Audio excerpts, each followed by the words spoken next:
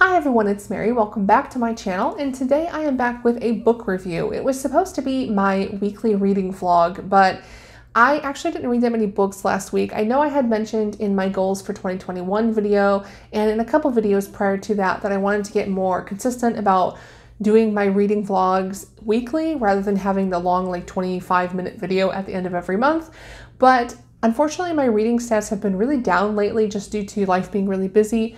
So before I jump into all of that, just to give you guys a quick update, thank you to everyone who has been keeping me in your thoughts and prayers. And it looks like we do have an answer. It is my gallbladder, so I will probably be having surgery sometime in the next week or so, which is why I am here today with no makeup and I just don't feel very good. I'm in a lot of pain, but hopefully that will be resolved soon. So thank you to everyone who has reached out and I promised you guys that I would keep you updated on my health even when I switched over to booktube. So yes i'm still doing fine. Still cancer free thank god. And hopefully this gallbladder surgery will resolve the pain that i'm having and uh, we'll just go back to normal life after that. So so thank you guys again and if you haven't already subscribed to my channel please be sure to do so and to give me a thumbs up if you like what you see I really am enjoying doing booktube and I know it's been a transition, but I really love it. And I'm so glad that so many of you have decided to stay with me and go along on this reading journey with me because y'all know I love to read. I'm a bit of a book nerd.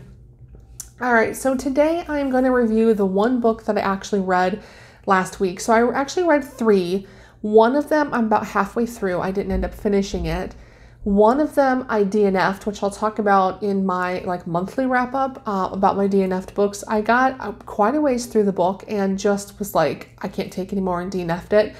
And then this was the book that I read all the way through. So rather than have this be like a reading vlog, I thought, well, we'll just do a review of this book, right?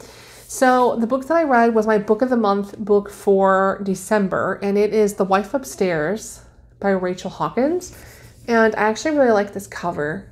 It's pretty. I mean, it's it's big. Sometimes I like these covers that are like, um, more simple. I guess. I mean, it's got the staircase going up, which makes sense upstairs. But sometimes I don't need to see people or like really complicated covers. I like when they're just simple and pretty and, you know. Anyway, so the reason I picked this book is because it is supposed to be a retelling of Jane Eyre by Charlotte Bronte. And I love that book. I've read it several times. I've seen like a movie. I think there's one movie, maybe there's two. I think I know I've seen one movie adaptation. Maybe I'm thinking of like Wuthering Heights or something. But I know that I read um, the book and I have seen a movie adaptation of Jane Eyre, and it's always been one of my favorites because it's so creepy. And then my sister told me she read a book that's supposed to be from like the standpoint of the wife um, her viewpoint of like how things went. I haven't read that one yet, but it's always been such an intriguing story for me because intriguing like what's really going on with the wife and then how did they not how did they not know that the wife was still alive? I don't know.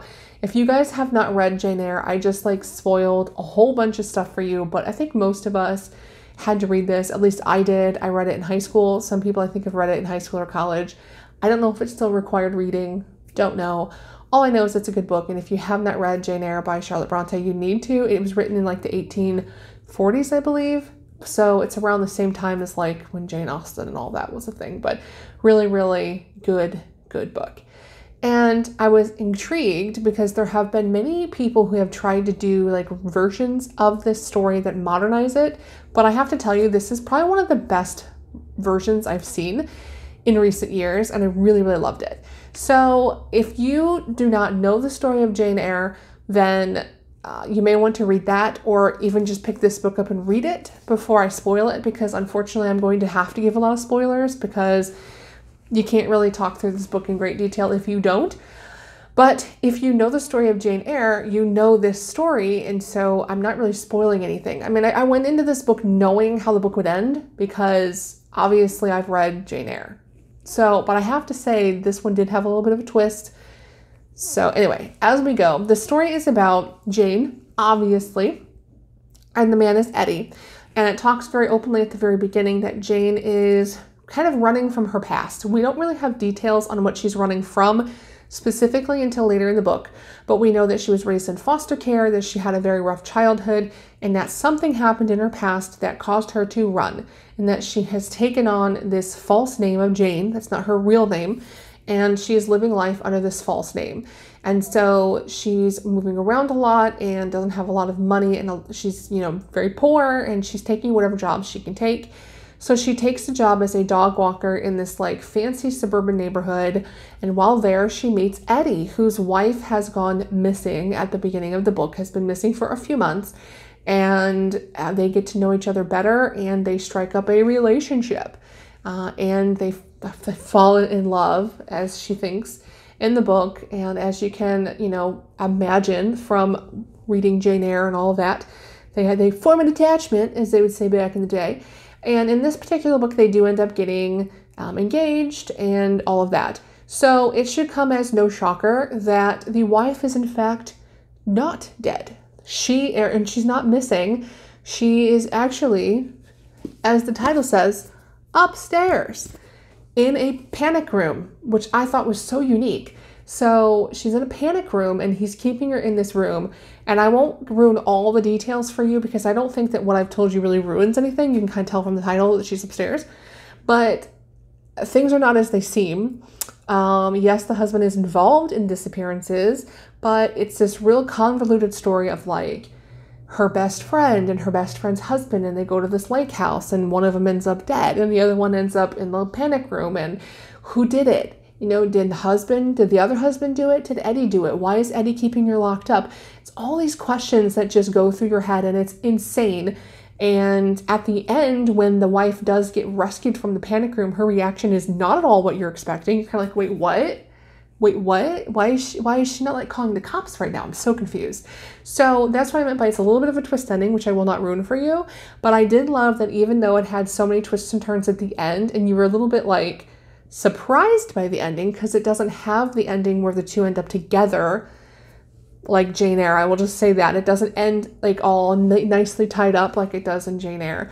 But she did do a very good job at the very end of leaving you on sort of this like, that was different, but also very hopeful. So I actually really loved this book. I don't know if Rachel Hawkins has Oh no, it actually says this is her first adult novel. This is her first novel, so I can't wait to see what else she writes. So I'm really looking forward to like finding her on social media or wherever and following her to see what else she writes because this was a really really good debut novel. I'm super impressed and I really recommend everyone check it out because it's it's definitely one of my favorite books I've read in a while. Uh, and it's not a romance novel, which for me says a lot because you know I love my romance.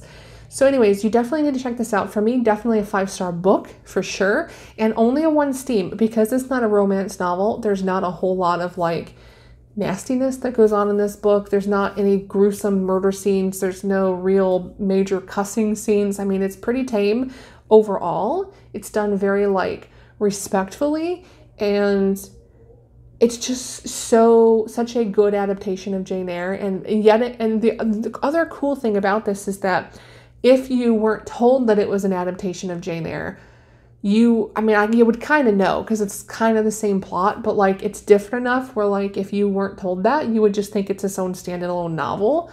But then you kind of put it together that, oh, this is sort of like that book. Um, so she really just made it her own, and I really love it. So definitely recommend it. I'm gonna link a link to Rachel's website below if I can find her website. I'm sure she's got one because most authors do. So I'll link a link below to her website. And if you guys have a chance to check this out, highly recommend it. Definitely loving so far all the books I have been able to get from Book of the Month. I've been pretty impressed with their books, their their book choices so far. So if you haven't checked them out, I will also link Book of the Month below. Um, probably I'll probably use my referral link just so you guys know, but you can just go to Book of the Month and Google it if you don't want to use that link. That's totally fine. But I'm really enjoying it and it's a good value. So, anyway, let me know if you guys have read this book or if you've read any other Jane Eyre adaptations and what are some of the best ones you've read that you would recommend us reading. And if you've read this one, let me know what you thought of it. All right, guys, I will talk to you later. Bye.